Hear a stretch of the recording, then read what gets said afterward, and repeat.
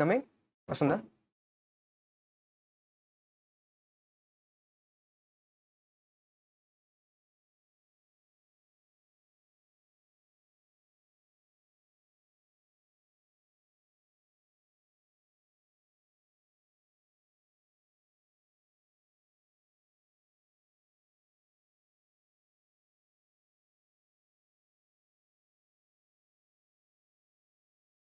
Shall I?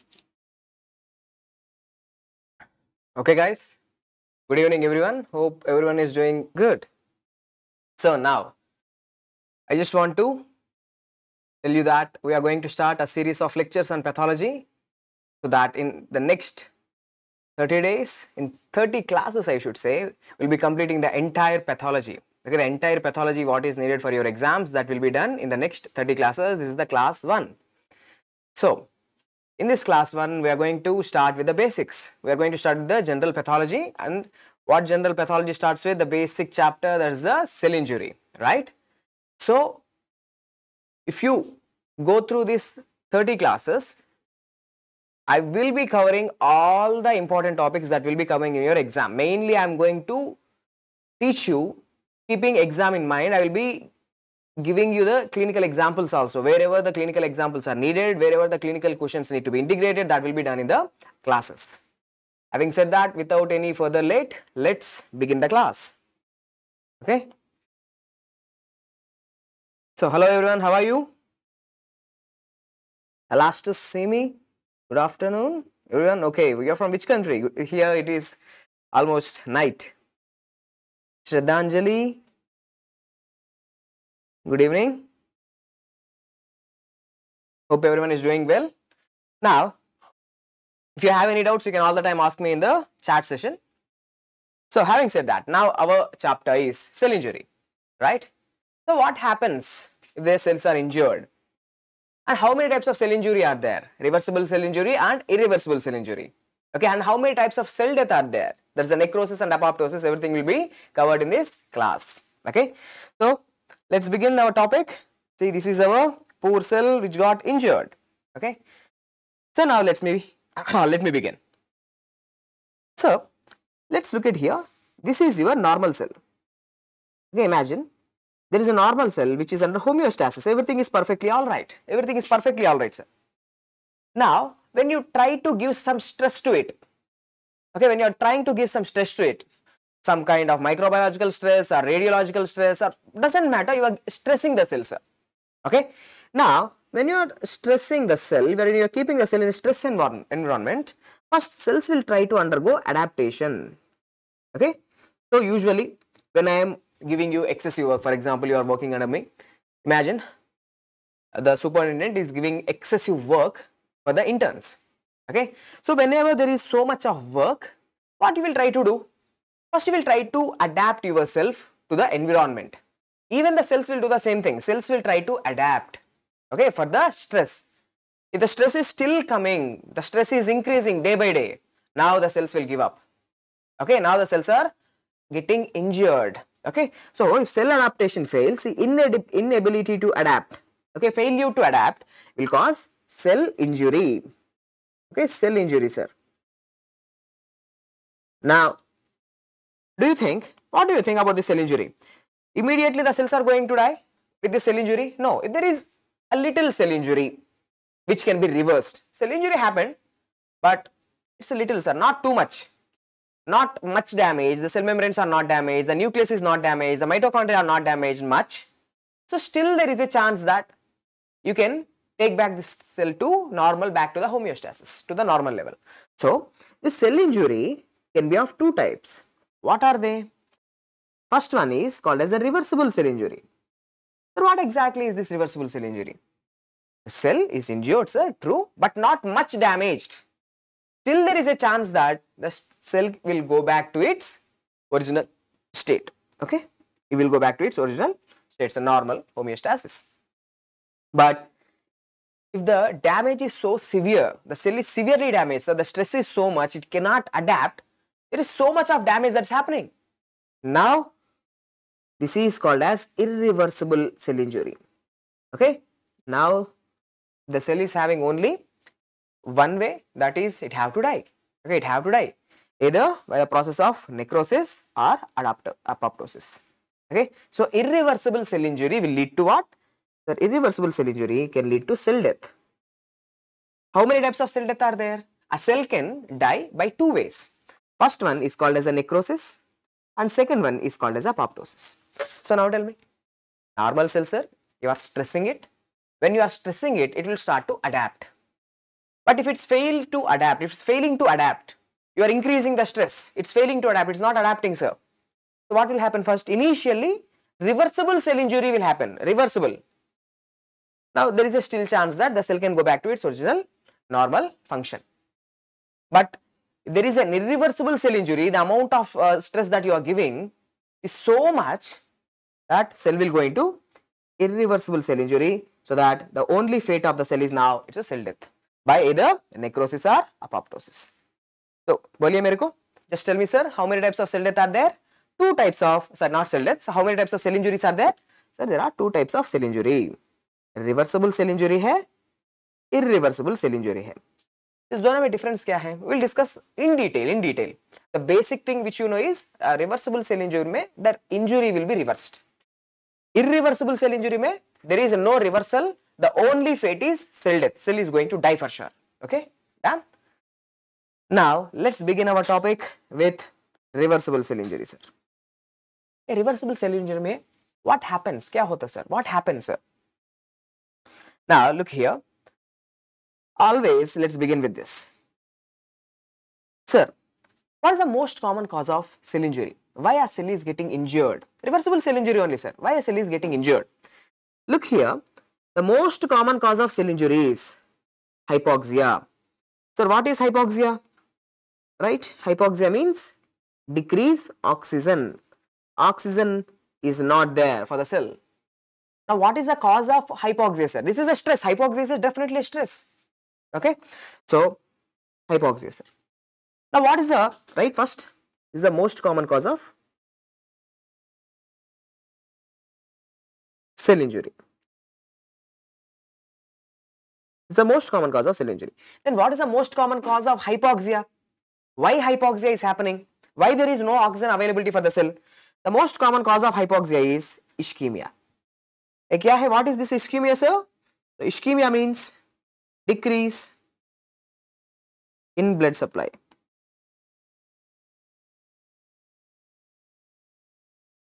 Okay? So decrease in blood supply. The blood vessel might be occluded because of a thrombus. The blood vessel is occluded because of thrombus or atherosclerosis or because of some reason. So there is ischemia. That ischemia is leading to hypoxia sir.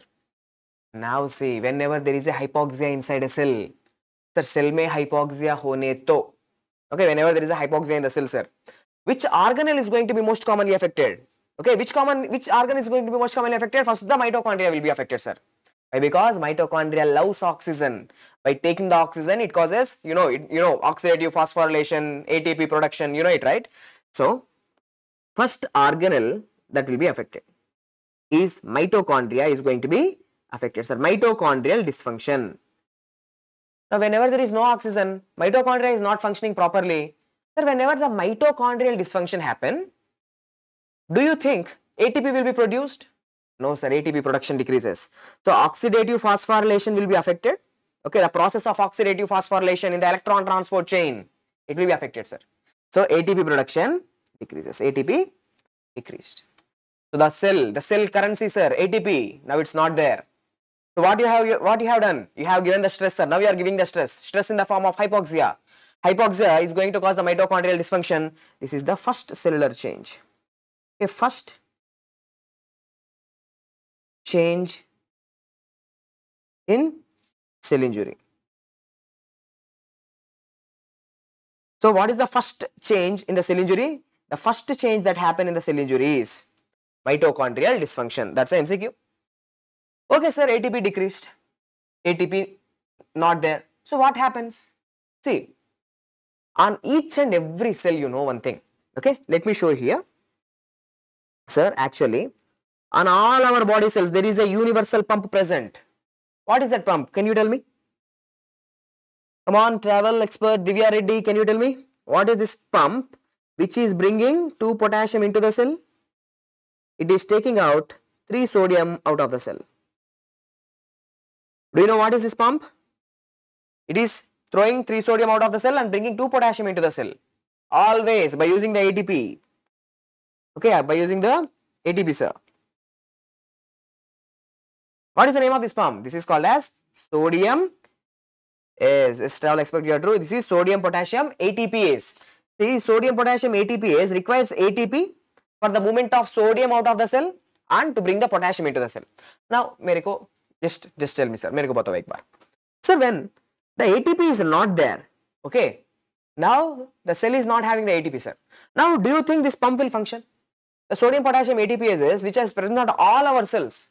Now, this cell also, this cell which is getting injured. So, the sodium potassium ATPase is not going to function. When the sodium potassium ATPase is not functioning, not functioning, what will happen? Which ions will start to accumulate inside the cell? Sir, see, dekho, sodium ions are getting accumulated inside the cell. Okay, so there is accumulation of the sodium ions. Now tell me, sir, wherever there is sodium, water follows. Wherever there are, uh, wherever there is sodium, sir, water follows. You know the basic thing. Now, ATP is not there. When ATP is not there, these pumps, these pumps are going to fail. When the pumps are failed, this ionic balance is affected. The sodium is going to get accumulated inside the cell. Wherever there is sodium, this sodium will try to drag the water. So more water will come into the cell, sir. More water. Okay, now water is coming into the cell. Okay? There, देखो, the same thing, whatever we have discussed, the same thing. Is everything okay? Yeah, the same thing I have shown here. See, decrease in the ATP. Okay, ATP is decreased. So the sodium, potassium, ATPases are getting affected, sir. Sodium, potassium, ATPases. When the sodium, potassium, ATPases are affected, देखो what happened? Increase influx of water. I have explained you why more water is coming because of the accumulation of the sodium ions. Sodium ions are more inside the cell, accumulation of the water. Now tell me, sir. Now more water is coming into the cell. So can I call this as a hydropic change? Cellular swelling, right? Hydropic change, sir. Okay. So this is the first morphological visible change in reversible cell injury. Okay. So cellular swelling. Cells are getting swelled with the water. Now they are getting little obese, sir. Obese. Water is coming into them. Now they are little swell, swollen. Okay. So this is called as right hydropic swelling. Okay, hydropic swelling. Now, right, what is MCQ? For your exams, especially for all the board exams, any exams, sir. The first morphological change.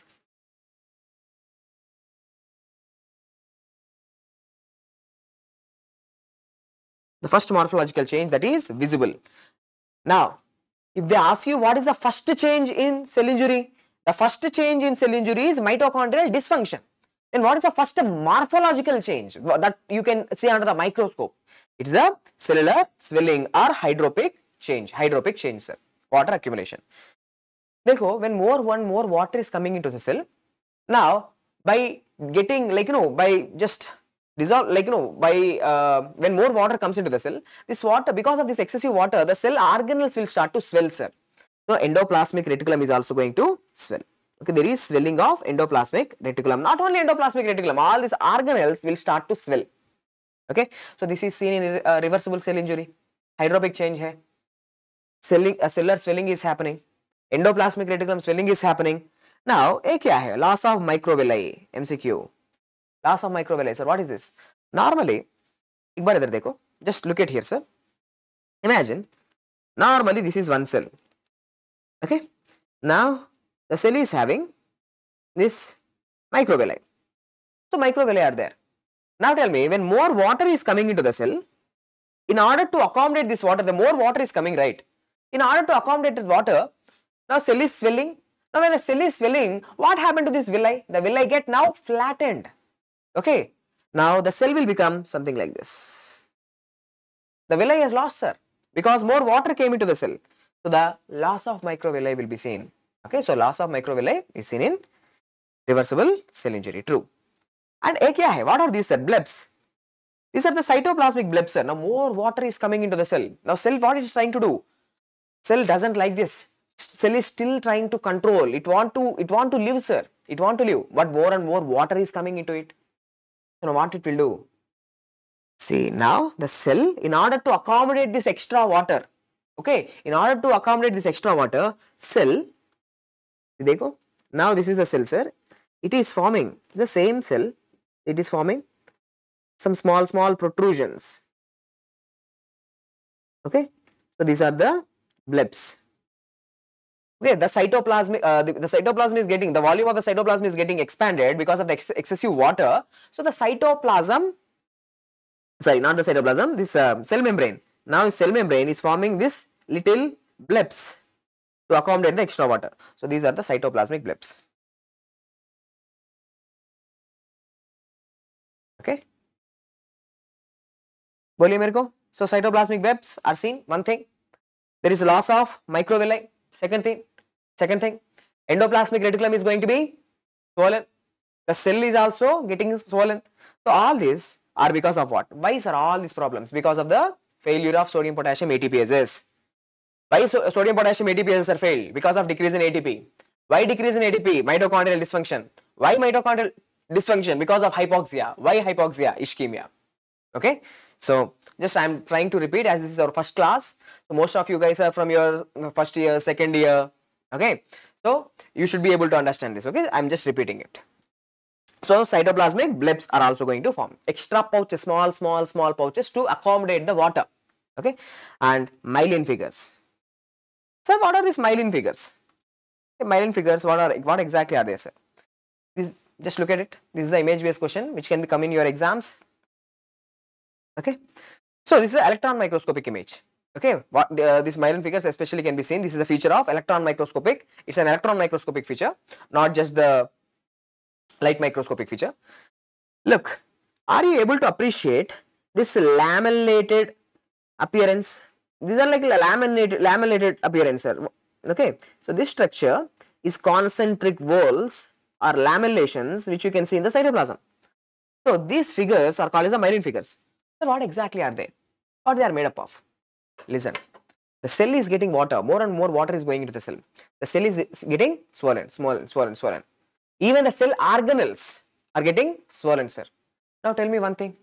Cell is made up of, the cell is covered by what? Cell membrane, which is made up of phospholipids, lipids, which are hydrophobic. Okay. And even your cellular organelles like endoplasmic reticulum, mitochondria, Golgi complex, even they are also surrounded by the membranes, right? Even organelles are also surrounded by their own membranes. Now, whenever the too much water is coming, this water is distending the organelles, making them swollen. So, during this process, during this process, some amount of cell membrane damage will occur. Some amount of cell membrane damage will occur. Not severe, just some amount of cell membrane damage. Okay, the cellular organelles also, देखो, endoplasmic reticulum also it is getting swollen, swollen, swollen. So their cell membrane, whatever is there, okay, their membrane, the organelles which are covered by their membrane, even the membrane is getting distended, membrane distant, distant, distant, and there will be a small damage. So some phospholipid, some membrane is going to be teared away. So these cell membrane, this phospholipid membrane, okay, which is hydrophobic, sir. Now it is going to, in the cytoplasm it will come and it will go into whorls or lamellations. So very important point, these myelin figures, which are nothing but look here they are what exactly are they? They are membranous whorls or lamellated aggregates of phospholipids. What they are made up of? They are made up of phospholipids derived from where? Derived from damaged membranes of mitochondria or endoplasmic reticulum or cell membrane. Okay? So this is the question that they will ask you in your exam. They are made up of what? They are made up of phospholipids. They are mainly made up of phospholipids other components are there like calcium but they are mainly made up of phospholipids. Okay, next. So far, let's recap what we have seen, sir. Come on, guys. Let's see. We have started with the reversible cell injury. Reversible. Okay, we have started with the reversible cell injury. Now, in reversible cell injury, what happens? There is a decrease in the ATP. Okay, there is decrease in the ATP. Now, when the ATP is going down, what happens? Sodium potassium ATPase is failed. More water is coming into the cell. So, hydropic change. That's the first morphological change. Endoplasmic reticulum is filling loss of microvilli are seen, cytoplasmic blebs are seen and myelin figures are seen. Myelin figures are made up of what? Phospholipids. Next sir, next what happens? Sir, whenever the ATP is not there, oxygen is not there sir. Okay, oxygen nahi hai. Oxygen nahi hai to, when oxygen is not there, do you think aerobic respiration is going to be possible. Aerobic respiration needs oxygen. Now, oxygen is not there, hypoxia. The, patient, the, the cell is having hypoxia.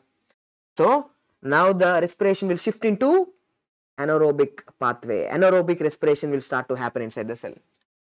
So, whenever anaerobic respiration occurs, what happens? Lactic acid is going to be produced. You know, lactic acid is the product of anaerobic respiration. Now, inside the cell, lactic acid levels are going to increase. Lactic acid, acidosis. Now, what will happen? Because of this acidic environment, see, acidosis, sir. Now, what happens? There is clumping of chromatin. The chromatin material which is present inside the nucleus.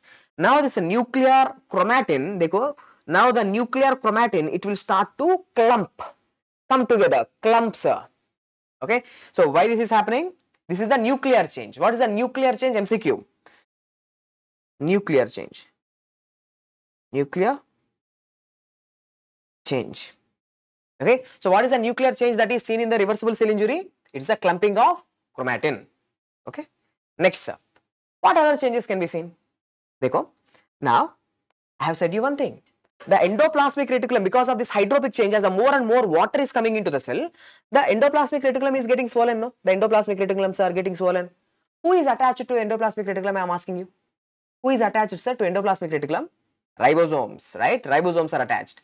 Now, because of the swelling of the endoplasmic reticulum, those ribosomes will undergo detachment. The ribosomes will start to detach, sir. Now, what will happen? Do you think protein synthesis will happen now? No, protein synthesis will stop. So, there is decrease in the seed. There is ribosomal detachment leading to decrease in the protein synthesis. So, uh, these are the three main events that happens in the reversible cell injury. Okay, these are the three main events that happens in the reversible cell injury. What are the three main events? which I want you to know are cellular swelling. Second thing is clumping of the chromatin and third one is decrease in the protein synthesis. sir Okay, is it clear guys? So far is it clear? Come on guys, is it clear? Trial expert seems that you are so active. Reversible cell injury, all this is reversible cell injury. Right now we are all discussing about the reversible cell injury. This uh, reversible cell injury can happen in any any cell. It can happen in any cell. When you are giving stress to a cell, first it will undergo reversible cell injury. See now, try to understand like this. Okay, try to understand like this. Any of your body cell, if you stop oxygen to it, you don't give oxygen to it. First, what will happen? The sodium potassium ATPases will they will stop functioning. So cellular swelling will happen, clumping of chromatin will happen, decreased protein synthesis will happen, myelin figures are seen, but still if you just leave the cell, if you take out the stress from the cell, okay, just remove the stress from the cell, still the cell will go back to its normal function, sir The, the cell will survive. Okay, there is no cellular death. Till here, this is a reversible cell injury. Still the cell can go, uh, if you remove the stress, the, still the cell can go, go back to its normal function. Okay? Then, let's begin the topic of irreversible cell injury, sir. ये क्या है what is irreversible cell injury okay now देखो when can we say that the cells are irreversibly damaged sir beyond repair now there is no repair sir beyond repair the cell is damaged sir do you know what is that one thing there is severe membrane damage if the cell membrane the cell membrane of the cell if it is severely damaged the cell can no longer undergo uh, repair sir you cannot repair the cell Okay. Now it is no longer reversible cell injury. Now it is irreversible cell injury. Okay. So what is that thing which differentiate reversible cell injury for irreversible cell injury? It's a severe membrane damage. Okay. So now let's see here. Imagine this is one cell where the membrane of the cell is damaged sir. in many places. See for example, in this place the membrane is damaged. In this place also the membrane is damaged. Cell membrane is damaged okay. Now when the cell membrane is damaged, just tell me, sir from outside calcium, whatever the calcium is there, okay, calcium levels inside the cell is very very less. This is also the FMG question. The question which was asked in the recent FMG exam, question is, which ion concentration is maintained less in the cell? When compared to the other ions, the calcium concentration, the calcium concentration inside the cell is very less Inside the cell it is less. Outside the cell it is more, sir. Outside the cell it is more. So now tell me, when the cell is damaged, the cellular membrane, when the membrane is damaged, now this calcium will start to come into the cell. Now, I hope you already know from your first year of MBBS, sir, calcium, what exactly is this calcium? Calcium is enzyme activator. Okay, calcium is the enzyme activator. It activates all the enzymes, sir, multiple enzymes. Okay, now let's see what happens. There is severe membrane damage, so that there is increase in the calcium influx into the cell. From outside, the calcium is going to come into the cells. Okay.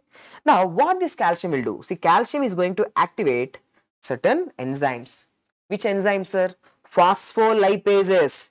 Now, it is decided. Cell membrane is damaged. There is no chance of repair. Now, the cell have to undergo death for sure. Irreversible, no? So, cell have to die, sir. So, if the cell have to die, the you have to break the cell membrane you have to break the nucleus you have to break the proteins inside the cell okay so this calcium it activates inside the cell the calcium activates the phospholipases. The phospholipases are going to be activated. Okay? Now what happens now? Dekho so the phospholipases they will break the cell membrane and break the mitochondrial membranes. The cell membranes mitochondrial membranes they will be broken down. And one more thing I want you to know is, see this phospholipases, in the name itself it's a phospholipase, Phos they will break the phospholipids. Where phospholipids are there? Phospholipids are there in the membranes, membrane, cell membrane, mitochondrial membrane, you know it right? So, now the cell membrane is getting damaged, the mitochondrial membrane is also getting damaged, the membrane around the mitochondria is also getting damaged sir now this is also very important. Once the mitochondrial is damaged, this is also an indication. The mitochondria are damaged, that's also an indication that it is irreversible cell injury, sir. So What are the two things which will say this is irreversible cell injury? That is severe membrane damage, cell membrane damage, as well as mitochondrial damage. So if they are present inside the cell, it is no longer reversible cell injury, it is now irreversible cell injury. Okay. Now, MCQs which were asked in your exam, calcium came into the cell, sir. Calcium is activating what? Calcium is activating the phospholipases. The cell membranes are getting damaged. Mitochondrial membranes are getting damaged. Now, dekho, what happens? Do you know? Calcium now will enter into the mitochondria. Calcium rate is going, calcium is going into the mitochondria, sir. Okay. So, now this calcium which is going into the mitochondria, it is called as large flocculent densities okay so this is the question देखो now imagine this is your mitochondria now mitochondrial membrane is damaged no now in some places देखो in some places mitochondrial membrane is also damaged sir now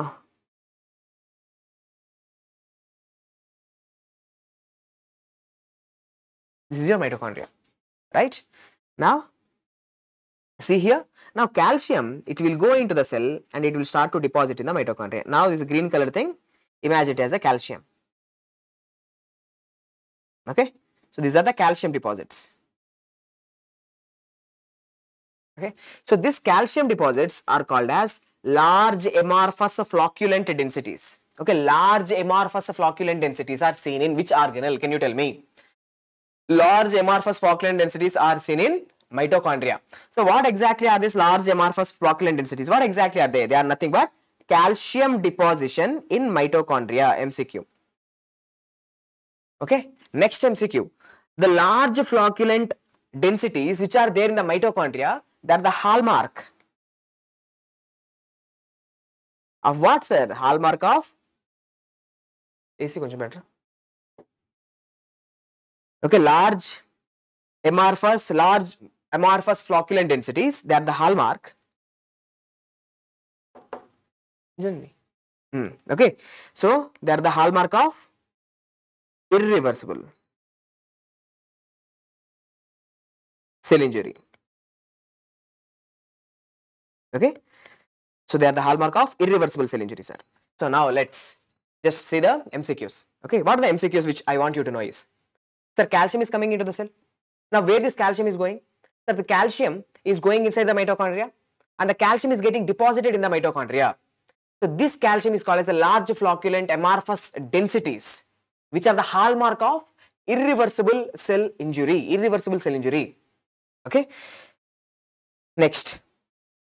So the calcium, whatever is coming in, calcium is coming in, right? So this calcium not only activating the phospholipases, which breaks the cell membrane, it will also activate the proteases.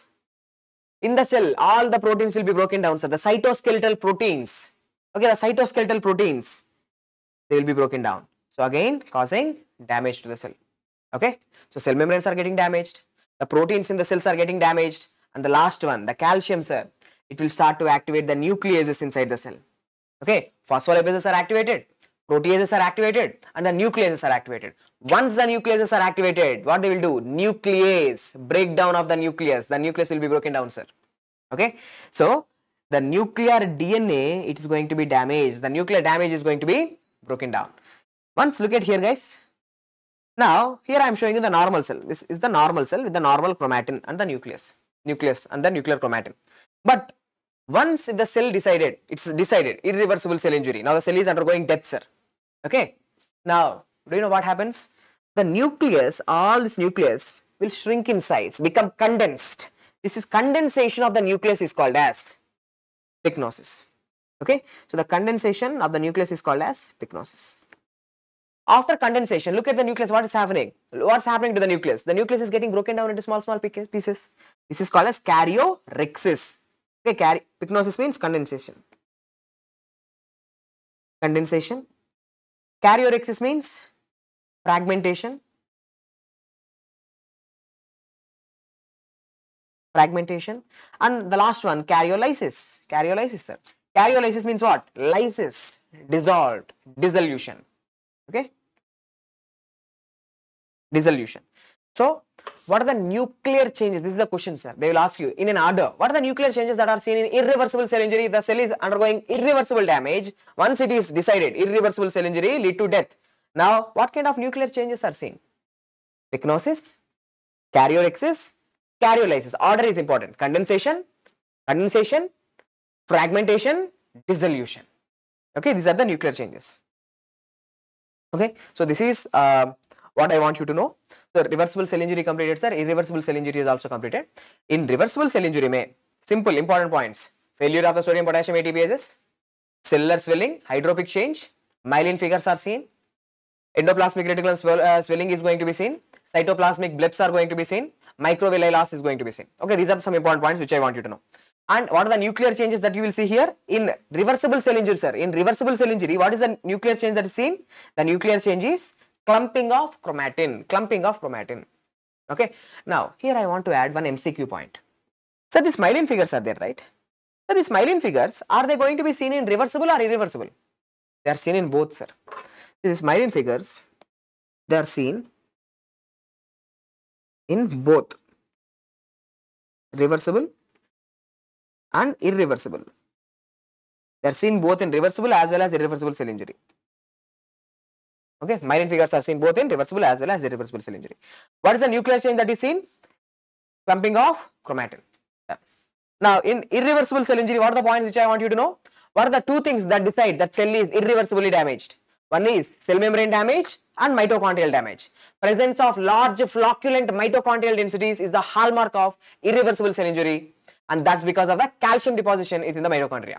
Okay, and what are the nuclear events that are seen? This is important. Nuclear events are condensation of nucleus, pycnosis, followed by karyorrhexis and karyolysis. Done. So with this, irreversible cell injury is also completed. Reversible cell injury hai, irreversible cell injury hai. After irreversible cell injury, what happens? Cell will die. Cell will die, sir. Okay. Now, that I will discuss. So, is that clear so far? Guys, is that clear so far?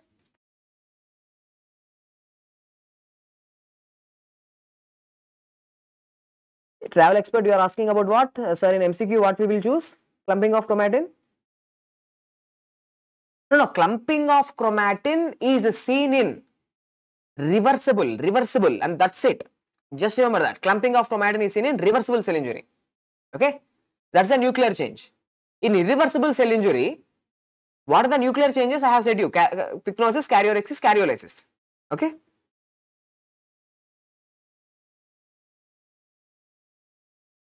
Okay. Next, let's talk about the necrosis, sir. Cell death. Cell dead, sir. Cell dead. How many types of cells do you have? There are multiple organs are there, multiple tissues are there in our body. There are different different tissues are there, different different simple try to understand like this. Different different tissues, different different cells. So different different cells will undergo different types of cell death, sir. Okay, actually there are two types of cell death. One is necrosis and apoptosis. First we will discuss about the necrosis.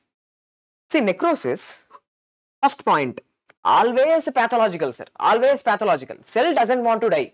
Cell always want to live. Now in this condition, cell want to live but some stress from outside, stress that is reversible cell injury, irreversible cell injury, now it is causing the death of the cell. So, necrosis is always, always pathological.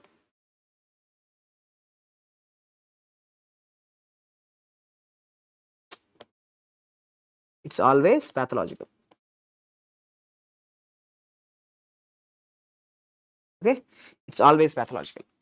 Necrosis, is it active or passive? So, it is a passive processor. What does I mean by passive? Sir, during this process, the cell is dying, no. No ATP is involved. There is no ATP, no program, nothing. Because of some external stress, it is killing the cell, sir. Okay, I used to remember uh, necrosis more like a murder. Okay, the cell doesn't want to die, but some stress from outside is actually killing the cell. Okay, different types of tissues will undergo different types of necrosis, sir. So what you should know for your exam? The most common type of necrosis is coagulative necrosis. Most of our body tissues will undergo coagulative form of necrosis. What is this sir? Coagulative necrosis. Cell dead. Okay, cell is dead sir. But if you put under the microscope, still you can identify the cell architecture. Ah sir, this is a cardiac myocyte. Ah, this is a nephron sir. This is a renal tubule. Still the architecture, cell is dead. But still the architecture is preserved. Okay. So this is called as coagulative necrosis, which is the most common type. Guys, once look at here. Here I am showing you the kidney. This is the kidney. Now, because of the occlusion of the artery, because of the occlusion of the artery, see there is wedge-shaped necrosis. So this part of the kidney have undergone necrosis, coagulative necrosis. Okay. So now one by one, one by one. Coagulative necrosis. This is the image-based question, which was many times tested in the exam, many times tested in the exam, sir. So, in coagulative necrosis, first tell me, what happened to the tissue architecture? What happens? Preserved.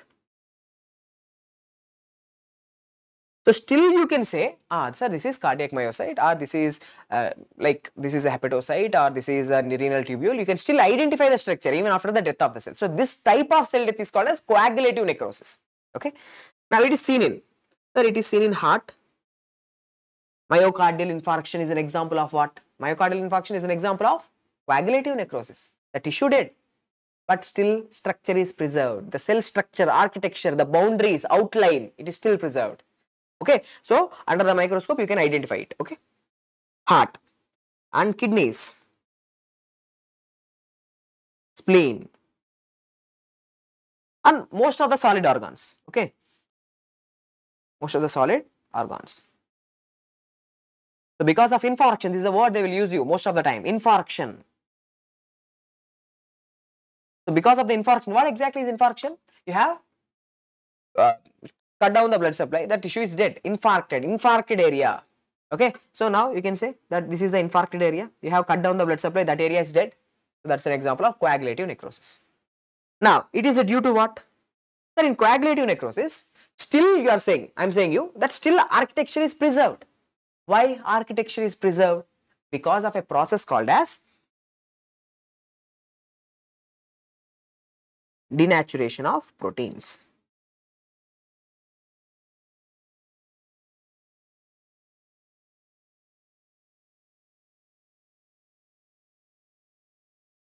Denaturation of proteins.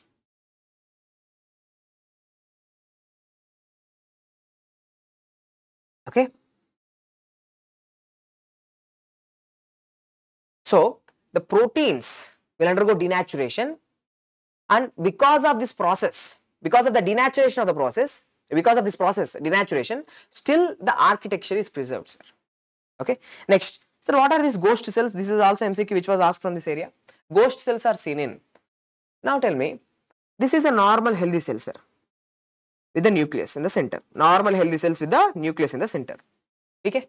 Now, when a cell is undergoing death, cell is dying, sir. Now, inside the cell, okay, cell is dead, already dead. Inside the cell, can you see the nucleus? The nucleus is not there. So now there is an empty cell. So these empty cells without the nucleus, still the architecture is preserved, the outlines, boundaries are there. But inside the cell there is nothing, deserted, no one is there, nothing is inhabited. So we use the word deserted cities, right? Deserted, ghost towns. Okay, ghost towns. Ghost towns means what? No one is inhabiting over there, nothing is there. Okay, just empty houses. In the same way, now in these cells, nothing is there, empty cells. Okay, so these cells are called as ghost cells. So ghost cells are seen in which type of necrosis? They are seen in coagulative necrosis. Okay. And coagulation, uh, denaturation of proteins or coagulation of proteins will be seen. Coagulation of proteins will cause the preservation of the architecture. Denaturation or the coagulation of the proteins will cause the coagulative necrosis. Completed, sir. Now, image based question which was tested in FMG exams and PG exams, Indian exams. This question was asked, and even in the MLE exams, board exams, also these questions will come. Now, what is this which I am showing you right now? What is this, sir? Come on, guys, tell me. This is your brain. Now, see, this area of the brain is getting infarcted, gone. Okay, I shouldn't say, but anyway, this area of the brain is getting damaged, dead, sir. Now, if you take small tissue from here, just take a small tissue from here, put it under the microscope and look at it. You cannot say anything. The tissue architecture, you cannot say that this is a neuron. The tissue architecture is not preserved, sir. Okay, so the entire that area, there is liquefactive necrosis happening. Totally, it's getting dissolved. Liquefaction. Okay, so now these tissues, okay, these type of tissues will undergo liquefactive necrosis. So, which tissues? So, first right, the scene in brain, okay, brain and also pancreas. Sir, brain and pancreas. So, these tissues, what is something special about them? So, the brain and pancreas, they have lots of enzymes, okay, lots of enzymes due to presence of hydrolytic enzymes.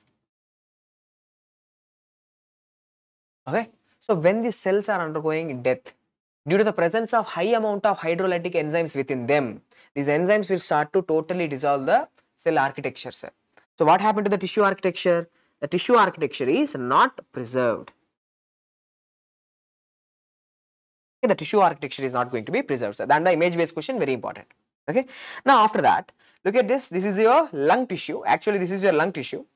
Now, in this lung tissue, there is this area. Dekho. So, this area, how it is looking like? It's looking like a cottage cheese. It's looking like a cheesy appearance, cheesy appearance, waxy, cheesy appearance. So, this lung tissue is undergoing necrosis. Okay. And because of this necrosis, just morphologically, not under the microscope, just by look, morphology itself, gross morphology itself is showing you cottage cheese-like appearance. So, that's it's called as caseous necrosis. Caseous means cheese-like. Okay. So, MCQs which were asked are, the caseous necrosis is actually a combo. It's a combo, sir.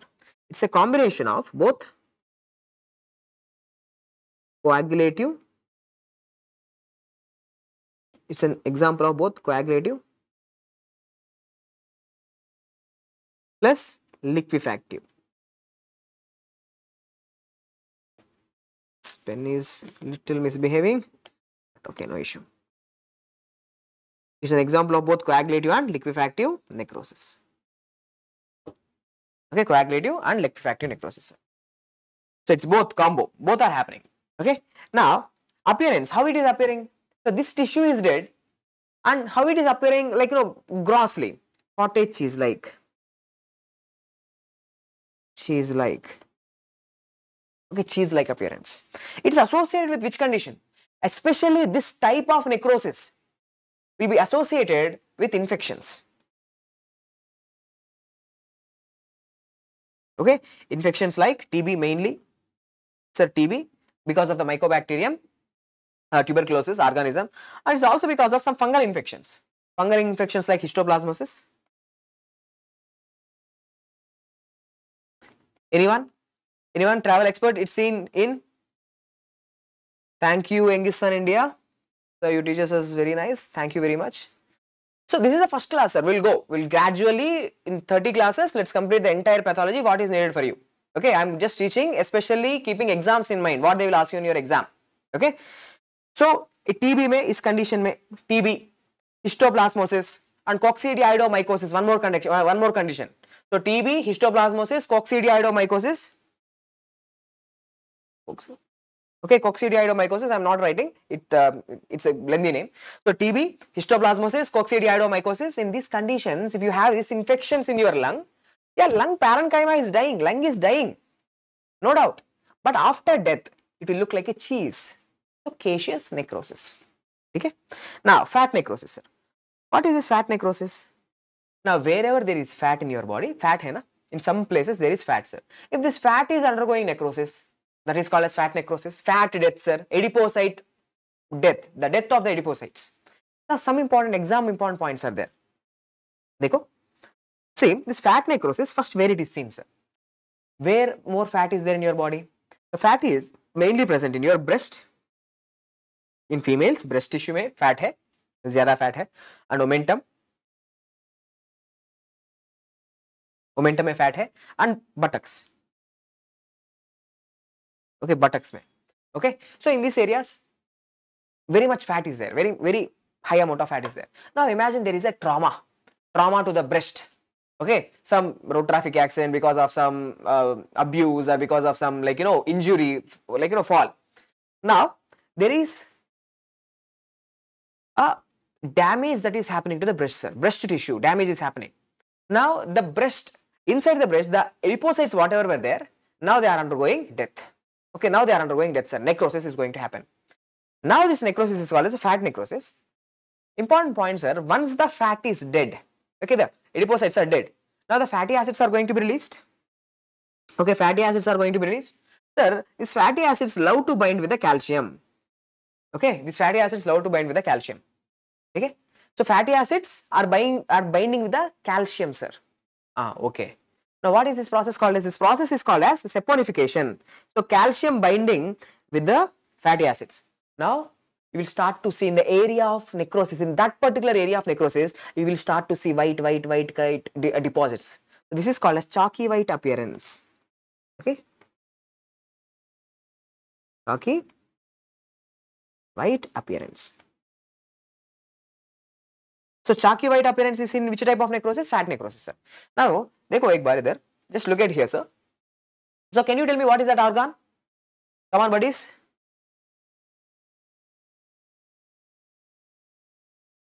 Guys, can you tell me what is this organ?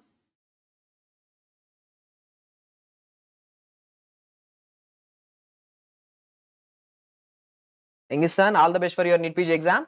Hope you will clear your exam with flying colors. So this organ, this is a pancreas. Okay. A pancreas. It's a pancreas. Sir. Now, you know, you already know. Sir, pancreas will undergo which type of necrosis? Pancreas will undergo pancreas will undergo liquefactive necrosis because of enzyme rich. Pancreas have lots and lots of enzymes.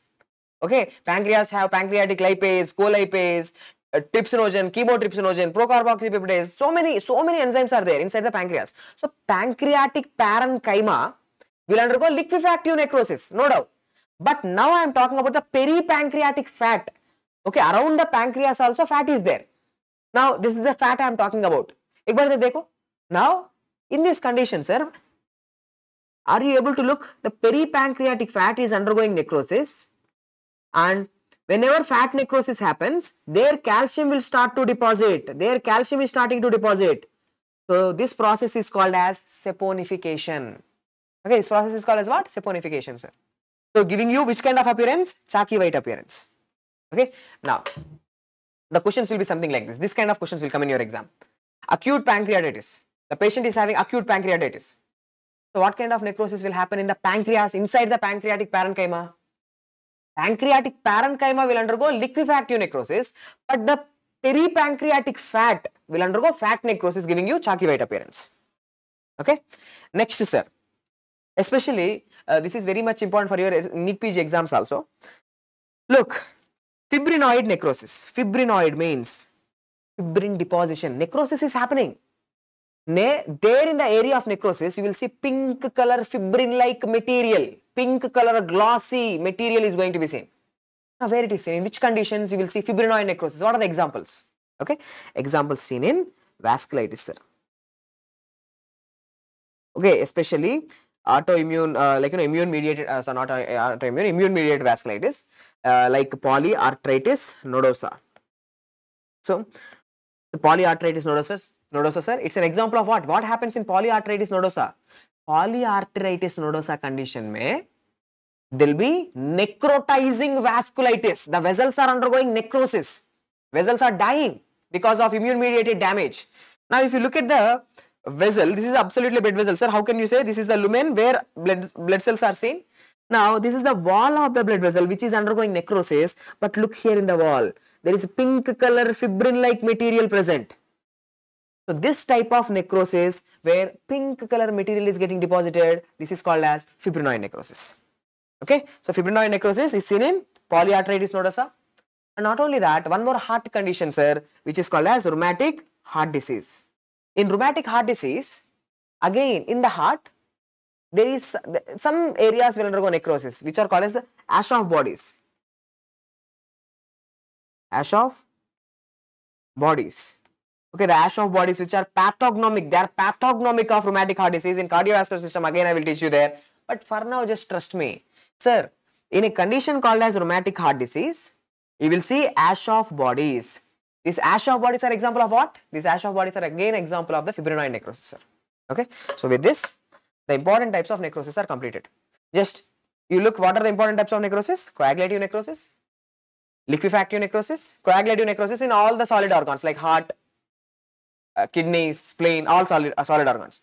Next, liquefactive necrosis in those organs where enzymes are more present like brain and pancreas. Next, caseous necrosis in infections, fungal infections and TB infections in the lung with the cheesy material development. Next, fat necrosis in the breast. For example, the question will be something like there is this one female, she is driving the car, now she met with a road traffic accident. Now because during this road traffic accident, now she had a trauma to her breast, that steering wheel, the steering wheel, now her breast is getting compressed against the steering wheel. Now which type of necrosis will happen in her breast? Fat necrosis will happen. Okay, which process will happen? Saponification will happen. Calcium will start allow to going to uh, deposit in that fatty acid area. Wherever the fatty acids are there, now the calcium will start to deposit in that area okay? And fibrinoid necrosis seen in the vessels vasculitis condition. Done? Now after this some important types of necrosis are there. Important types some little special. See the idhar so what is this? Diabetic patients you know diabetic patients especially they will be having the gangrene sir gangrene. So this is the dry gangrene. Okay dry gangrene where you can see a very clear demarcation. This is the word which is important sir. Okay? So this area is dead which is looking like a mummy, mummified, totally dry area, totally mummified. There is no bacteria growing in that area. Okay. So, what exactly is happening? Dry gangrene is what, sir? Are dry gangrene is nothing but coagulative necrosis. It's a type of coagulative necrosis. Okay. In that area, what happened? Coagulative necrosis happened. Okay. Now, you cut down the blood supply to that area. Slowly, gradually, gradually, you have cut down the blood supply to that area. So, that area is dead. Coagulative necrosis. Okay. So, just look here important MCQs which you need to know for your exams. Concentrate. There are two types of gangrene. Dry gangrene, wet gangrene. Okay. So, dry gangrene is most commonly seen in. So, dry gangrene is going to be seen in the limbs, upper limbs and lower limbs. But wet gangrene, it is seen more in the bowels, sir, intestines. Okay, mainly seen in the intestines. Okay, it doesn't mean it is seen in the other extremities. Yes, it, it can also be seen even in the limbs also, but mainly it is seen in the limb, it is mainly it is seen in the bowels. Wet gangrene is seen in the bowels, dry gangrene is seen in the limbs. Now why? Why wet gangrene? Why dry gangrene? Sir, dry gangrene is because of the main arterial occlusion. The artery supplying this area that's blocked. When the arterial occlusion happens, no blood flow, hypo ischemia, hypoxia, stress, reversible cell injury, irreversible cell injury, gone, coagulative necrosis. Okay, so due to the arterial occlusion, dry gangrene will occur. This wet gangrene is more of venous blockage. Okay, more commonly venous occlusion. The veins are occluded. Okay, the venous drainage is blocked. When the venous drainage is blocked, congestion will happen. no new blood is coming to that area. No new blood is coming to that area. Venous congestion is there, so tissues will die. Tissues will die. Okay, but in your exam, for exam point of view, sir, I don't want to remember all these things. Tell me something which will come in your exam. Is image based question. See, when you see a clear demarcated line, and if it's looking like a mummified appearance, a dry mummified appearance, that's a dry gangrene. It's an example of what? It's an example of coagulative necrosis.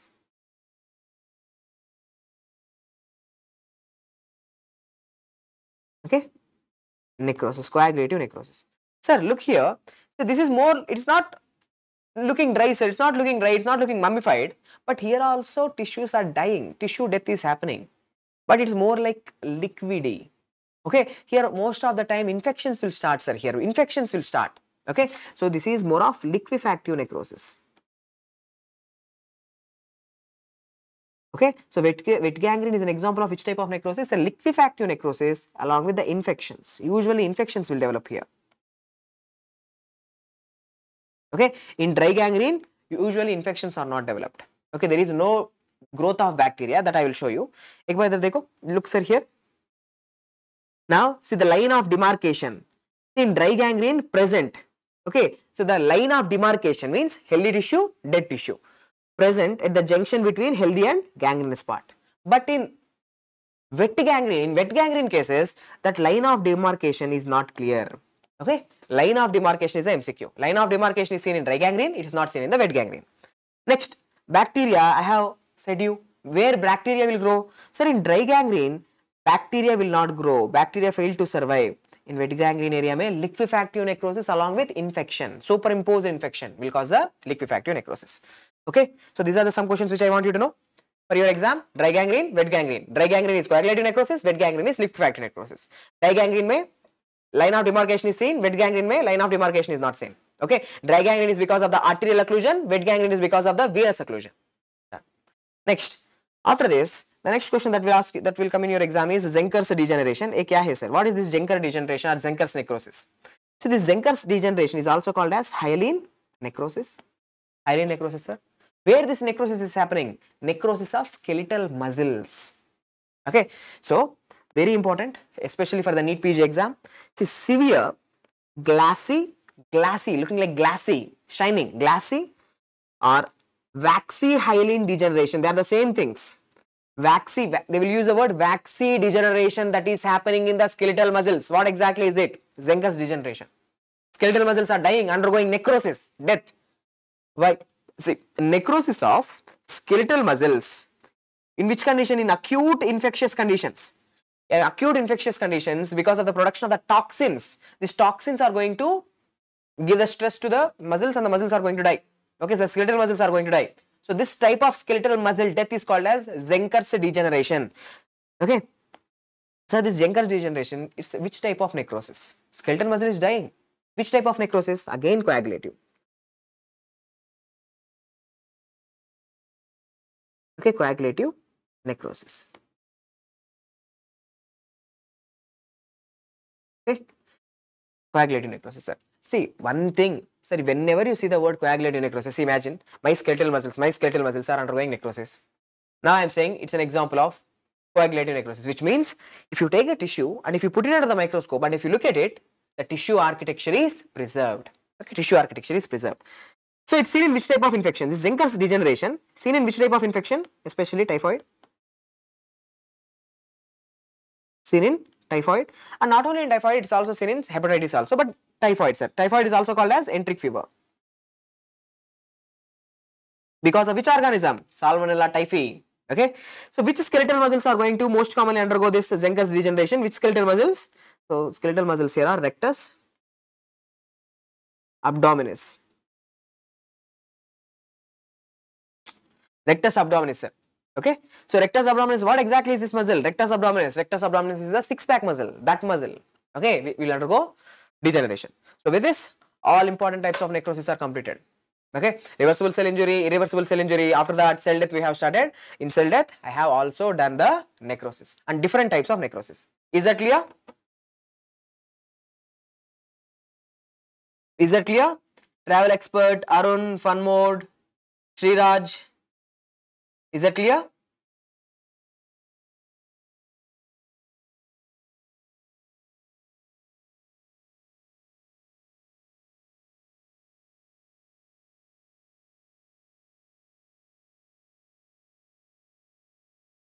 Okay.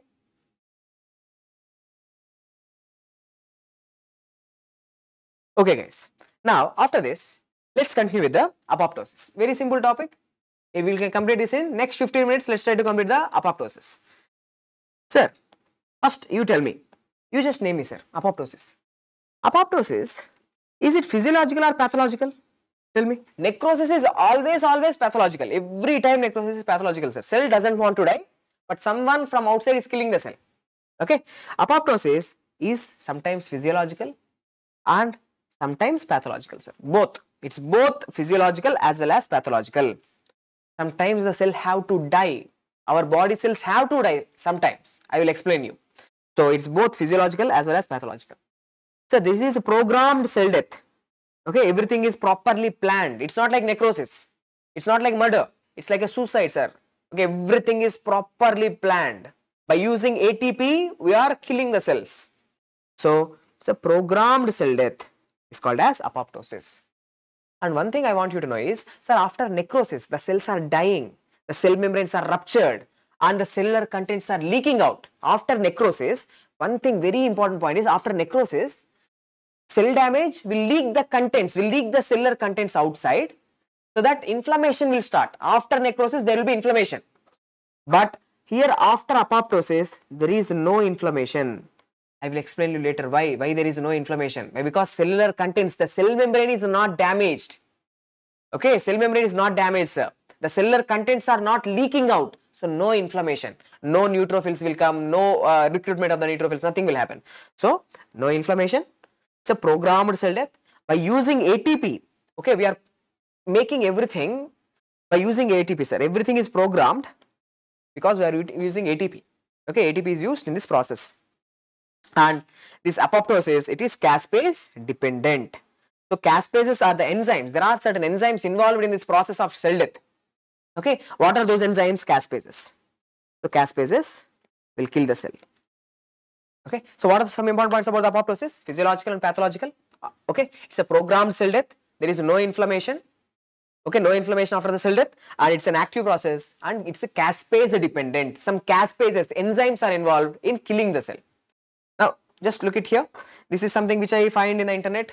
It's very simple, very interesting also see. Necrosis versus apoptosis. Necrosis is always pathological. Apoptosis is maybe physiological, maybe pathological. Most of the time in necrosis, okay, most of the time in necrosis, sir, many cells will die, a group of cells because of the stress, not one single cell, a group of tissue because of arterial occlusion, that wedge shaped area you have seen, a little extra tissue, more tissue is getting dead, okay. So, affects many number of cells, adjacent cells, surrounding cells will also be affected. But this is apoptosis, apoptosis is like suicide. During suicide, you will die or and others are also going to die? No, only one person. One person is committing the suicide. So, affects very less number of cells, single cells usually, single single cells. Okay. Now, during necrosis, the cell size increases. The cell size actually increases. Cellular swelling will happen. Okay water is coming into the cell. Reversible cell injury first initially. Cellular size is going to be increased and burst away. Okay? And in apoptosis further later in next 15 minutes i will tell you cell size actually becomes small. With the time cell size is getting smaller and smaller. The cell size is getting shrunken. Okay? Now it's a necrosis is a passive process no use of any atp apoptosis is active. A for a apoptosis is active after necrosis there is inflammation seen mcq after necrosis, there is no inflammatory reaction, I have said you. After necrosis, cell membrane is damaged. During necrosis, cell membrane is damaged. The cellular contents will leak out, leading to inflammatory trigger, inflammatory reaction. In necrosis, the cell membranes are intact. Cell membranes are not damaged. Cellular contents are not leaking out. So, no inflammation. Okay. Now, yeah, this is the last one. See, Diko. See, in necrosis, I have said you, plasma membrane or cell membrane is disrupted in apoptosis, cell membrane is intact. MCQ. All these are the MCQ. Trust me. In this entire class, this one single slide is the most, most, most important. Before going to the exam, one should go through this. Okay, just normal FMG exam, this will be enough. This one single slide will be enough. But if you are aiming for the NEET PG exams, like in higher level of exams, you need to have little more knowledge. Okay.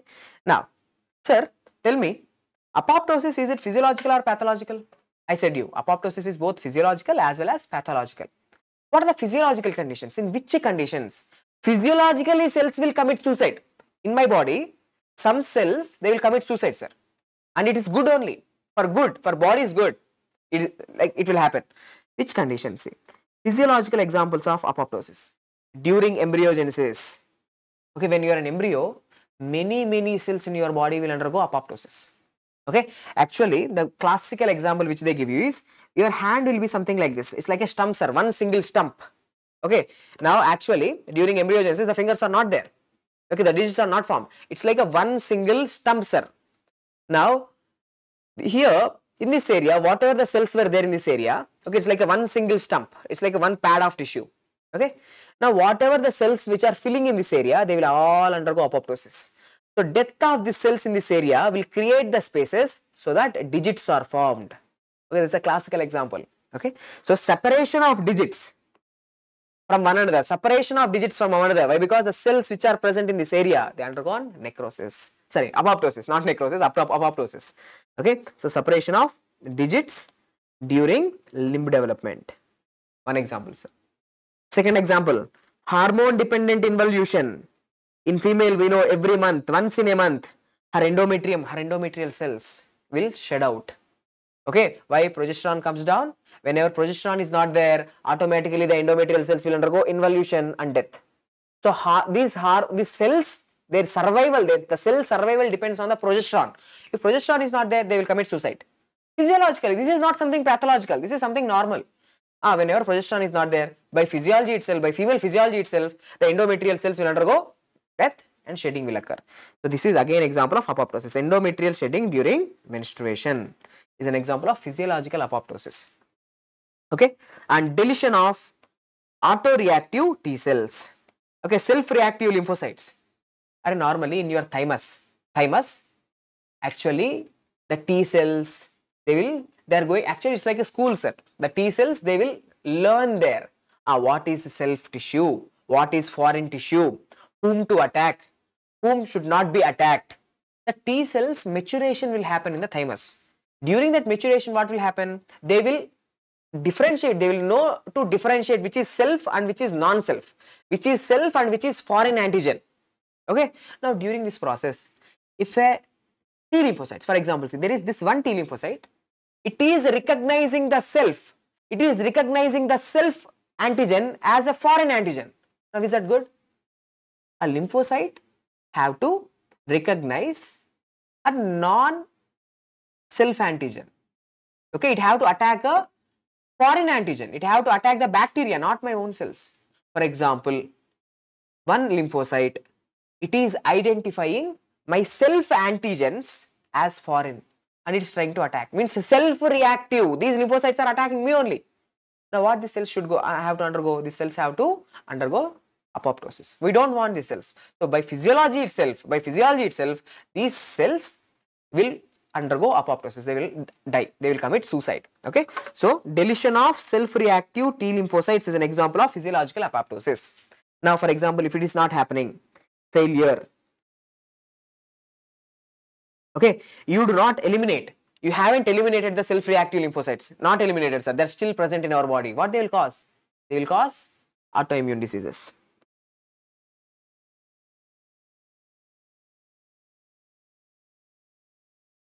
They will cause what? Autoimmune diseases. Next, so physiological apoptosis examples I have given you, embryogenesis, hormone dependent conditions like involution of the endometrium, uh, when you re remove the progesterone every month, once in a month, and deletion of the self-reactive lymphocytes, elimination of the self-reactive lymphocytes is also an example of physiological apoptosis. Now, favorite question in the NEET PG exam and FMG exam. Sir, councilman bodies Okay, councilman bodies. What are these, sir? Councilman bodies. These are nothing but dying hepatocytes. The hepatocytes which are infected with the virus. Okay. So, what are these councilman bodies? They are dying hepatocytes. See. Okay. These are the hepatocytes. They are undergoing what? They are undergoing apoptosis. Why they are undergoing apoptosis? They are committing suicide. Why? Because inside them there is a virus. HCV virus okay hepatitis virus is there inside them now they have decided let's commit suicide why because the virus is there If the cell is still alive, the virus will replicate and more number of copies are going to be produced. Now this will spread to the surrounding healthy tissue also. So now this hepatocyte have decided, let me commit suicide. So this dying hepatocyte is called as the Councilman body seen in viral hepatitis. Okay, the Councilman bodies are seen in the viral hepatitis, sir. Okay, right here seen in viral hepatitis. Seen viral hepatitis. Now, and not only this, I'm going a little fast now. Not only this, just by heart. So cell our tumors. If you are having a tumor, okay, there is a tumor, so there is a mass. Now most of the tumor cells, they are not normal cells. Most of the tumor cells will undergo death, death process. So this is again apoptosis. Most of the tumor cells they will die. By which process? Apoptosis. That's a pathological apoptosis. Tumor is not something normal. Viral hepatitis is not something normal. So cells are dying in some pathology, but in a more programmed way. They are deciding, they are terminating themselves, okay, by a programmed cell death. So, Councilman bodies and cell death in uh, tumor uh, tumor conditions, cell death in tumors, and whenever you use anti-cancer drugs, okay, whenever you use anti-cancer drugs, that will kill the cancerous cells. So, that's also because of apoptosis. A cell death induced by anti-cancer drugs or cell death induced by radiation, radiotherapy, all these are examples of apoptosis. Okay, so tell me what are the three pathological examples of apoptosis? Pathological apoptosis. One is Councilman bodies, tumor cell death, death of the tumor cells, and giving anti-cancer drugs, killing the cells. Okay, these are the three pathological uh, uh, examples of apoptosis. And what are the physiological examples of apoptosis? Physiological apoptosis are during embryogenesis, sir. Second one is uh, elimination of self-reactive lymphocytes and endometrium, endometrial shedding during menstruation. So 100% question will come from this area. Okay, this is the one thing which is very important. And after this, this is the second thing. And most of the time in exam, this was the question asked. This is the question asked during embryogenesis. The separation of digits is an example of physiological apoptosis. The cells are committing suicide. Okay. Now, last five minutes. Sir, how apoptosis is happening? There is something programmed, right? Programmed cell death. Caspase dependent. Okay. So what exactly is happening in this apoptosis, sir? Look at here. Sir, actually, there are two ways by which a cell will commit suicide. Two ways, sir. Okay, now, see, now there is this one cell. Now, it is simply sitting like this. Now, a signal is coming from outside. A signal is coming from outside telling that this cell have to die. This cell have to die. So, there is an extrinsic pathway. Okay, an extrinsic pathway. From outside, signal is coming to terminate the cell. Now, the cell will undergo death. So this is called as extrinsic pathway. Now you will understand, don't worry, the extrinsic pathway of apoptosis. So what is this extrinsic pathway of apoptosis?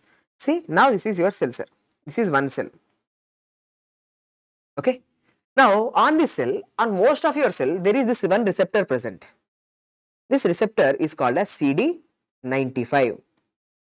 Okay, or death receptor. Okay, there is CD95 death receptor is present. Now, this this this death, uh, this death receptor. Okay, now if it gets a signal, see from outside, this this ligand is called as a FAS ligand, FAS. Okay, FAS ligand. Now this FAS ligand is coming and binding with the death receptor. Now it's a signal. Now it's a signal that this cell have to undergo death. Okay, this cell have to undergo death. Signal is coming from outside that this cell now it have to undergo death. Now you should die. Now you should die. Something like that. Okay. Now FAS ligand is binding with the death receptor that is CD95. Now what happens? Once this receptor is activated, this is a death receptor. Actually, trimerization will occur. Three death receptors will come and fuse. Okay, there is something called as a trimerization of the receptor. You know, not that much important. But once the CD95 receptor is activated, it will activate intracellularly, it will activate something called as FAD. Do you know what is FAD? FAS associated FAS associated death domain. When the signal is coming from outside, the death receptor is activated, the trimerization of death receptors will, ha will happen. Okay, three death receptors will fuse and they will activate the FAD. Okay, this FAS associated death domain is going to be activated. Now, what this FAD will do? Now, what this FAD will do, sir? Caspases. Now they are coming. See, now they will activate procaspase number 8 and 10. Okay, now these are the procaspases. They are sleeping. Now they are the inactive caspases, sir. Now these inactive caspases are going to be converted into active caspases. Caspase. These are the enzymes. These enzymes are getting activated. Just note till here. Note till here. Okay, sir. Extrinsic pathway of apoptosis. What is happening? Sir, in extrinsic pathway of apoptosis, signal is coming from outside. The FAS ligand is going to bind with the death receptor that is CD95. Death receptor is activated. Trimerization of receptor will occur that activates the FAD. FAS associated death domain is activated. Now, this FAS associated death domain will convert the inactive caspases inside the cell. In each cell, inactive caspases are there. So, this inactive procaspase 8 and 10 are converted into active 8 and 10. Okay, now they are ready. So, these caspases are the first initial caspases, right? Okay, these are the initial caspases. So, these 8 and 10 are called as the initiator caspases. Initiator caspases. Okay, there is one more initiator caspase I will explain you, but just for now, uh, 8 and 10 are the initiator caspases. Now they are activated. I am ready. Now, what is intrinsic pathway? Extrinsic pathway, procaspase number 8 and 10 is converted into caspase number 8 and 10. Well and good. Now, what is intrinsic pathway of apoptosis, sir? No signal is coming from outside. There is nothing coming from outside. Now, cell is under stress, sir. Now, the cell is having more and more stress now cell is getting more and more stress. Sir. Now cell will decide this is not the time I should leave. Okay, I should not live in this stressful environment. Now do you know what happens? The intrinsic pathway means, do you know what happens? See, actually in each and every cell, okay, in our cells, may, okay, in our cells, there are some stress sensors present. Okay, in our cells, these stress sensors are present, MCQ. Okay, FMG, NEET PG, MCQ. These are the stress sensors. They will all the time sense the stress inside the cells. If there is more stress, less stress, is everything good or not? They're all the time sensing. What are the stress sensors? BIM, BID, BAD, NOXA, PUMA. BIM, BIM, BID, BAD, NOXA and PUMA. BIM, BID, BAD, NOXA, PUMA. These are the stress sensors. They will sense the stress. Everything normal or not, normal or not, normal or not. Now, whenever there is more stress on the cell, okay, microbiological stress, or immunological stress or radiation on the cell stress is increasing sir now they are detected. Now there is more stress. Now they detected sir. Now do you know what they will do? Now they go sir these stress sensors they will activate the pro-apoptotic factors. Now they will activate certain pro-apoptotic factors. Pro means what? They will do the apoptosis. Now the stress sensors they are activating the pro-apoptotic factors.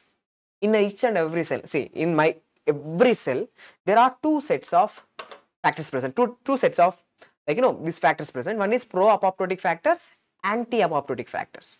Pro apoptosis means they will cause the apoptosis. Anti apoptosis means they will inhibit the cell death. They will they are anti apoptosis so what are the pro apoptosis again fmg mcq and as well as NEET PG MCQ in each and every cell there are pro apoptosing factors present. What are they? BAK BAX, BCL, XL, P53. So these are the pro-apoptosis. They will kill the cell. They will kill the cell. Pro-apoptosis. But in each and every cell, there are anti-apoptosis factors also. What they will do? They will prevent the cell death. What are they? BCL2, MCL, BCL, XL. These are the anti-apoptotic factors. Normally, normally, the pro-apoptotic factors, anti-apoptotic factors, there is a balance. Okay, pro-apoptotic factors and anti-apoptotic factors, there is a balance here. But right now, right now, what is happening? Look, there is more stress. Okay, now there is stress on the sensor. Now the stress is going to activate what? Stress sensors, BIM, BID, BAD, NOXA, PUMA. Now they are activated. Now, what the stress sensors will do? They will activate the pro-apoptotic factors. They increase the number of pro-apoptotic factors and these anti-apoptotic factors are inhibited. They are inhibited, sir. Anti-apoptotic factors are inhibited. Okay. Now tell me. Now tell me what happens. Sir, this concentration, their concentration increases, their concentration decreases. Do you know what happens? Ek bar idhar dekho. Intrinsic pathway. Okay, in intrinsic pathway, normally, what is this organelle? Can you tell me? What is this organelle, sir? This is the mitochondria. This is the mitochondria. Now, sir, can you tell me what are these? Can you tell me what is this? Sir, in the inner mitochondrial membrane, in between, actually, outer mitochondrial membrane, inner mitochondrial membrane, in that space, at intermembrane space, there is a substance present. Do you know what is this substance called as? Sir, this is called as cytochrome C, which is the dangerous substance, the dangerous substance in the cell, sir, cytochrome C. So, the cytochrome C actually it is present on the inner mitochondrial membrane, it is present on the inner mitochondrial membrane. Okay. Now, it will never ever, it will never leak into the cell, sir. Normally, it will never come into the cytoplasm, never. But right now, the cells are under stress. The stress sensors are activated. Now what they will do? Now they will inhibit, they will decrease the anti-apoptotic factors. Now ek bar idhar look. Okay, just look at here sir. Ek bar idhar, dekho. Normally, do you know what is this red color thing which I have shown here? Sir, these are BCl2 molecules. Where you have studied BCl2? So the important molecule BCl2. BCl2 is anti-apoptosis. It will inhibit the apoptosis. No cell death, no cell death. But now, same. In stressful conditions, this stress sensor, do you know what they will do? Stress sensors, they are decreasing, they are inhibiting, they are decreasing the number of anti-apoptotic factors. So, now look here. What happens, sir? Couldn't able to steer this. Okay, but anyway, now look here. This BCL2 molecule, it's gone. The BCL2 molecule, now it is not there. When you remove the BCL2 molecule, now what happens? Cell cytochrome C is going to leak into the cell. So the cytochrome C is now leaking into the cell, sir. Now what the cytochrome C will do? Now cytochrome C, once if it comes into the cell, the cell will die for sure. The cell is going to die for sure, sir. So the cytochrome C, it is going to bind with a substance called as APAF1. APAF1. And do you know what is APAF1? Apoptosis. APAF1 for apoptosis activating factor 1. APAF1. Cytochrome C is going to bind with the APAF1. Now this combo, this cytochrome C and APAF1 is called as apoptosome. So now apoptosome is formed. Okay, now what you are left with? Sir, apoptosome. Now one thing I want you to know. Sir, is there any signal coming from outside in this pathway? Any signal is coming from outside? No signal. No signal is coming from the outside.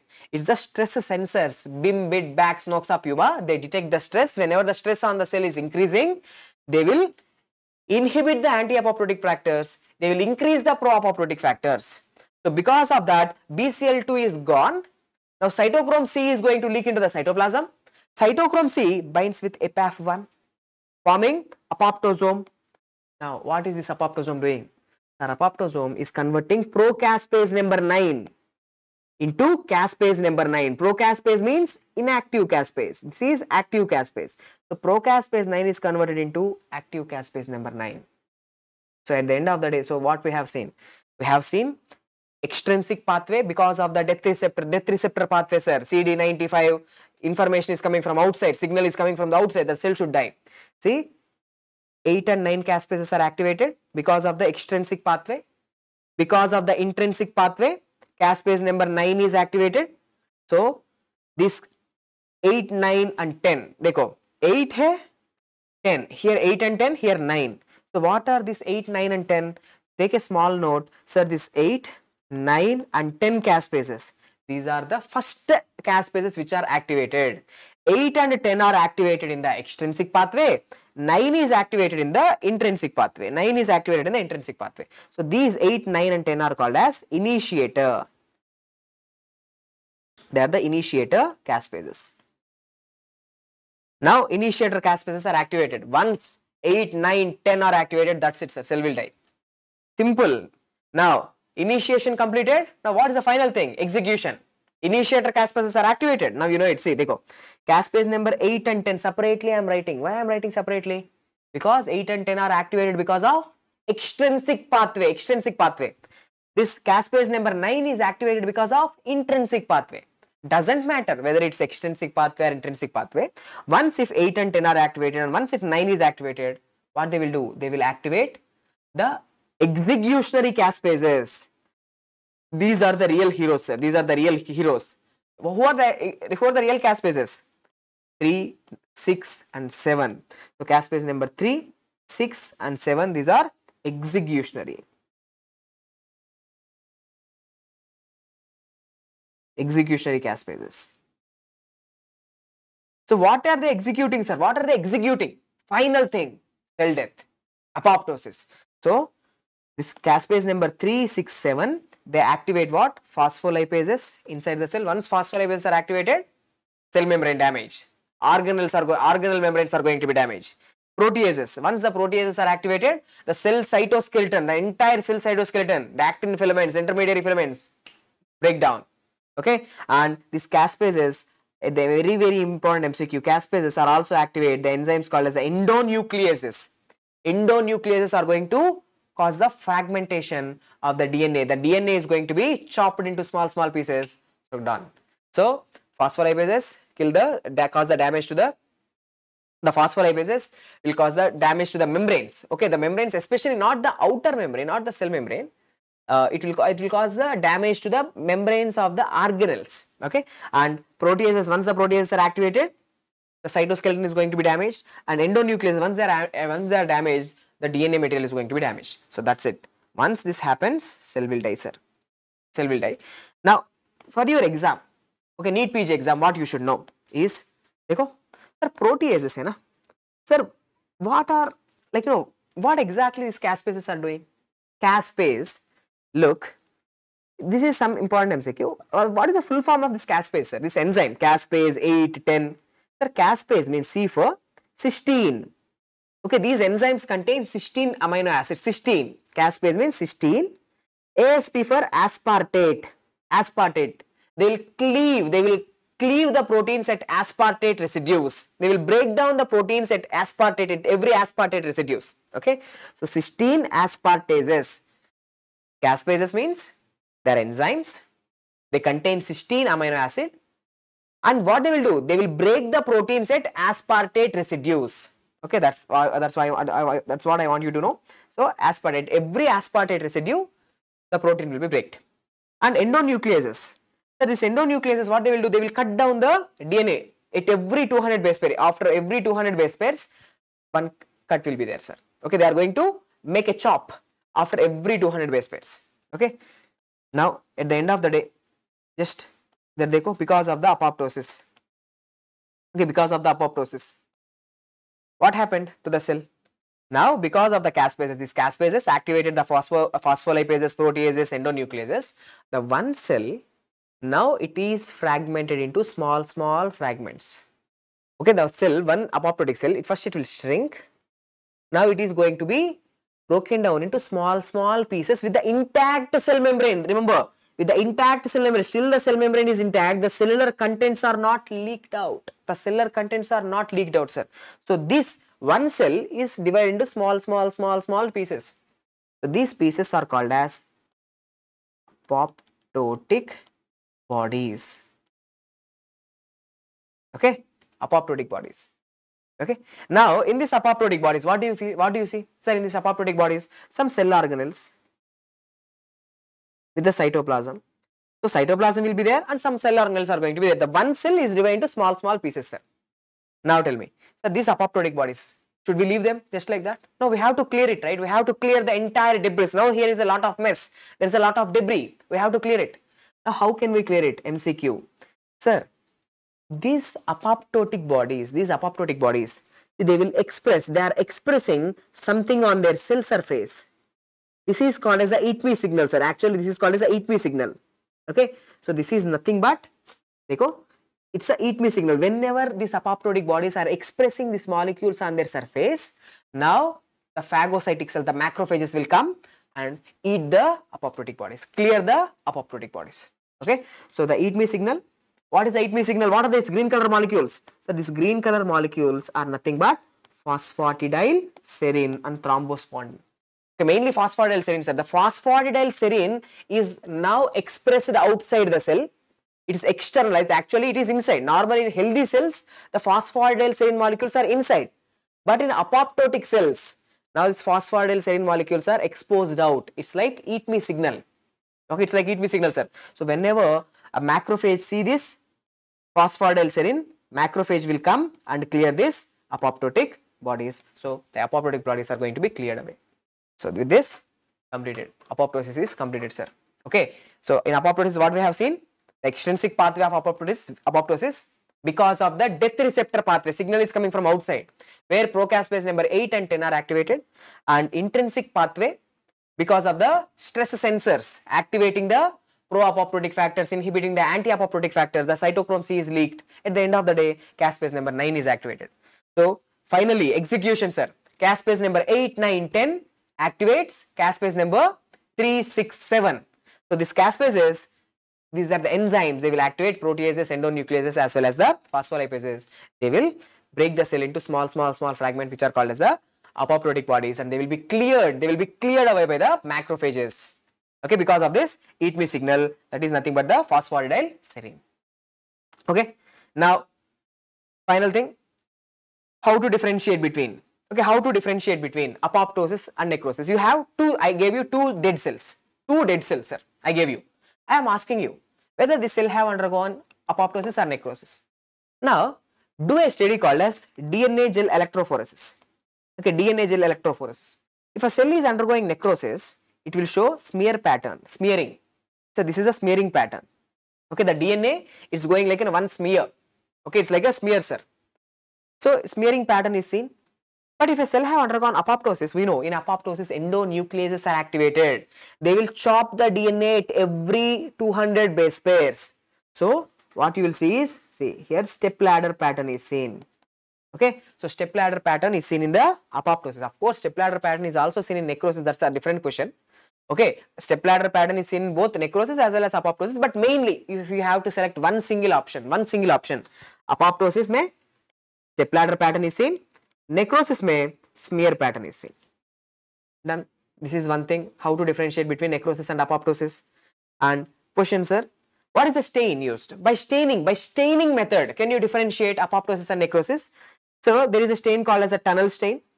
So this TUNEL stain, it is positive only in apoptosis. This TUNEL stain, the cells will get uh, like you know they will be positive in apoptosis. Apoptosis cells are going to be positive for the TUNEL stain and necrosis there is a negative. TUNEL stain is going to be negative in necrosis, positive in apoptosis. So with this, the entire topic, all integrations, whatever need to be done, whatever you should know for your exam, I have completed, sir. Okay. So my thing is completed. Now your part, MCQs, just MCQs, I will show you the MCQs, just answer it. What is Zenker's degeneration? Just tell me the answer, A, B, C, D. Can you tell me what is Zenker's degeneration?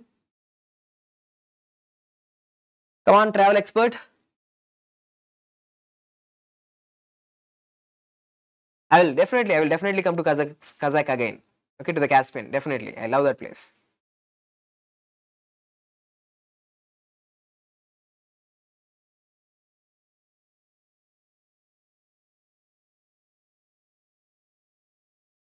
Can you tell me what is the answer ABCD? Travel expert, can you? Sir, Zenkers, I said you. So Zenker's is, yes, it is hyaline, waxy hyaline degeneration or necrosis of the skeletal muscle in acute infections like typhoid. Which muscles is going to be most commonly affected? Rectus abdominis. Rectus abdominis is going to be affected. Okay. So this is Zenker's degeneration. Option number C. Excellent, excellent. Okay. Next. So these kind of clinical integrated questions will come in your exam. Okay, it's just a general pathology. Sir, what if you are going to give the next exam, clinically integrated? So once look at this, a 73 year old man comes to the emergency department due to right sided weakness and difficulty speaking. He is having right sided weakness and difficulty speaking. The patient woke up with symptoms an hour before arriving but felt when he went to the went to bed last night he has a history of paroxysmal, par sorry, he has a history of paroxysmal atrial fibrillation. Ah, that's it. Here is the key. He's having what? Paroxysmal atrial fibrillation. His atria fibrillating. Okay, his atria fibrillating. Now you know when, especially okay, I, I don't know whether you can know it or not. Especially when you do your medicine, then you will understand this. Whenever your atria are undergoing fibrillation, there is a chance that in atria clots will form, sir. Mural thrombosis will occur. Clots will start to form in that fibrillating atria. Now clots. So this is the one thing you should know. Clots. Now what these clots will do? These clots will go into the systemic circulation, will occlude the blood vessels. Now, dekho. So what's happening? So the patient is having a paroxysmal atrial fibrillation, but he is not adherent with the medical therapy. He is not taking any therapy. His body temperature is okay normal, blood pressure is 130 by 70 almost normal and pulse is 110 per minute. Pulse is irregularly irregular. See whenever you see the word irregularly irregular pulse, that is atrial fibrillation. So that's a keyword. Whenever you see this keyword irregularly irregular pulse, that's the atrial fibrillation. So now he is having atrial fibrillation. Okay, so atrial fibrillation patients are at a risk of, remember atrial fibrillation patients are at a risk of stroke, stroke. Thrombus will form in the atria. The thrombus will go into the cerebral blood vessels and will cause a stroke, sir. Okay, now physical examination, physical examination shows right sided hemiplegia, stroke came, paralysis, stroke came. Okay, Hemisens uh, hemisensory loss, sensory losses are there, aphasia cannot talk properly. Despite of appropriate treatment, the patient symptoms fail to improve. Okay? Whatever you're doing his symptoms are not coming to normal fail to improve. Means something damage permanent damage occurred okay over the next one week. Which of the following processes they have given the entire medical case and what they are asking? Which of the following process is most likely to be affected in the brain region? Ah atrial fibrillation stroke hai so brain is have undergoing infarction. Brain sir brain is some part of the brain is dead. Now tell me what is the answer? A b c or d? Uh, most of the students have already gave the answer. What is the answer? A, B, C or D? See, definitely the answer here is D, sir. Okay, D. Why? Because brain and pancreas are rich in enzymes, hydrolytic enzymes. So they will undergo which type of necrosis? Liquefactive necrosis. So hydrolytic enzyme induced tissue degradation. That is an example of liquefactive necrosis. Okay, so here answer is D. Now answer this. A 46 year old man present to your office with slowly growing neck mass. He is having slowly growing neck mass. The mass is stony hard on palpation. It's a stony hard, sir. The neck mass is stony hard on palpation and seems to be fixed to the adjacent tissues. It is fixed to the adjacent tissues. After initial evaluation, see after initial evaluation, combination chemotherapy is prescribed. You are prescribing him combination chemotherapy. Okay, you detected, you diagnosed that it's some cancer. Okay, you are doing the chemotherapy. Several weeks later, the mass significantly decreases in size and biopsy determines many shrunken eosinophilic cells within the tumor. Okay, within the tumor. Which of the following, see, I have said you, tumor cells will die by giving anti-cancer drugs. If you give anti-cancer drugs, cells will die by apoptosis. The cells will die by apoptosis. In apoptosis, tell me, okay, in apoptosis, what will happen? The cytochrome C is going to leak out of the cell, sir. Okay, intrinsic pathway, cytochrome C is going to leak out of the cell. Binds with APAF1 forming apoptosome, right? So, which of the following substances released from the mitochondria most likely trigger the cellular changes? What is answer? Who is going to be leaked out?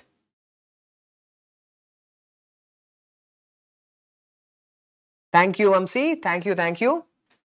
I'll definitely meet you again in KSMA. Okay, again I will do the patho there. Okay, in highly integrated way, more integrated way for your next exam. Okay, so the higher answer is cytochrome C. Cytochrome C is going to leak out. Remember one thing, tumor cells die via apoptosis. If you give anti-cancer drugs, that anti-cancer drugs kills the cancer cells via apoptosis. Now, answer this. A 65 year old old woman, sorry, uh, sorry, a 65 year old man comes to the emergency department due to acute onset. Okay, acute onset, right flank pain, right side flank pain. Okay, nausea and vomiting for the past hour. Okay, his medical condition includes prostate cancer. He's already having prostate cancer and membranous nephropathy. Okay, blood pressure is 148 by 60 and pulse is 95. On physical examination, the patient appears to be moderately distressed due to pain and a diaphoretic means he is having little pain and he is diaphoretic means sweating is there. There is right costovertebral angle tenderness, right side, right side costovertebral.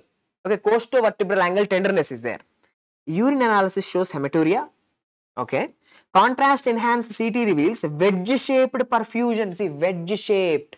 I said you when the arteries are blocked, then the wedge shape, whenever you see the word wedge shape perfusion defect, wedge shaped infarcts means kidney sir, hematuria, kidney, okay, the blood vessel is blocked, okay. See, now when you um, go into your second year, third year, then you will understand, see, what is the problem? He is having say membranous nephropathy, okay, membranous nephropathy. You should know, again I will teach you this again in uh, renal pathology, those patients whoever have membranous nephropathy, they will more likely to develop the renal artery blocks. Renal artery will be, the renal artery will be blocked, sir, because of the clots. So, membranous nephropathy is one of the most important risk factor for the blocks in the renal arteries. Now, same thing happened here. There is a clot that happened blocking the artery, leading to the wedge-shaped infarct. Wedge-shaped infarct, sir. Renal blood vessels are blocked. Wedge-shaped infarct. So, which type of necrosis? Which type of necrosis, sir?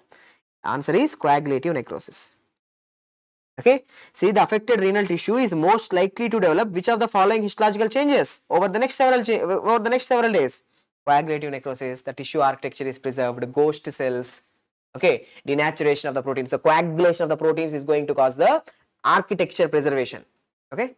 So, with this, completes all the important topics in this class. Okay, the class one of cell, uh, cell injury is completed. Tomorrow, let's discuss about the cellular adaptations and the miscellaneous topics, whatever were there in this, left over in this topic. We'll continue tomorrow. Okay, guys, today class is completed. Hope the video is helpful for you. Okay, the entire PDF will be, the PDF will be shared in your, in the SARS telegram group, Bansar's telegram group, the entire PDF will be shared. So, this is how we are going to discuss every day. First, we are going to see the normal topic with the image based questions and the previous year questions. And for your next exam we'll do the clinical cases also. Clinical case approach also will be done. Okay? Okay guys. See you. Good night